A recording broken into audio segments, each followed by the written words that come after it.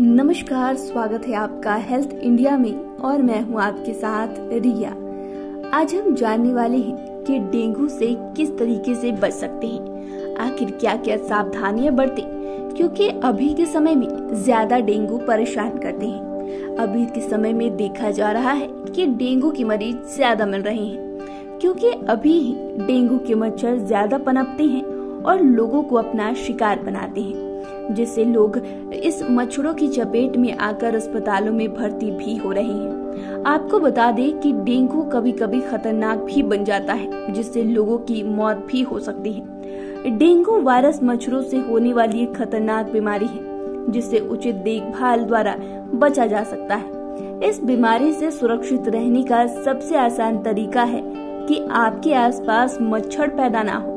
आपको बता दें कि डेंगू के मच्छर सुबह के वक्त ही ज़्यादा आक्रामक होते हैं। दिन के उजाले में, डेंगू के मच्छर लोगों को अपना शिकार बनाते हैं, जिसकी वजह से लोग अभी ज़्यादा चपेट में आ रहे हैं। तो चलिए आपको बताते हैं कि किस तरीके से आप सावधानी बरते ताकि आपको डेंगू का खतरा कम हो सकता है।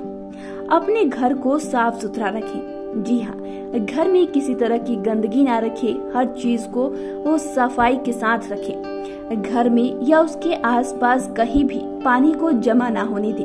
आपको बता दें कि डेंगू के मच्छर गंदे पानी में नहीं, बल्कि जमा हुई साफ़ सुथरी पानी में पनपते हैं। इसीलिए डेंगू के मच्छर से बचने के लिए कहीं भी घर के आसपास पानी जमा ना होने दें। पीछे मच्छरों को मारने के लिए अपने घर के कोने कोने में स्प्रे का इस्तेमाल करें और मच्छर को मारें।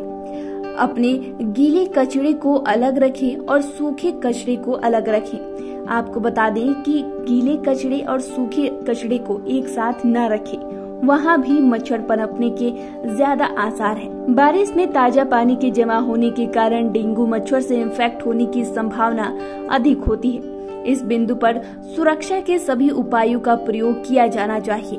हमेशा पूरे कपड़े पहने, जिसमें आपकी त्वचा का कोई भी हिस्सा खुला हुआ ना हो।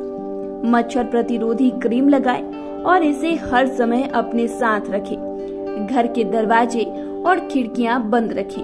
ज़्यादातर सुबह और शाम के दौरान एक दिन के उपयोग के बाद अपने हाथ के तौलियों को बदल दें। अपने गीले कपड़े और जूते को सूखे कपड़े से दूर रखें। इसके अलावा जितनी जल्दी हो सके गीले कपड़े को सुखाने की कोशिश करें।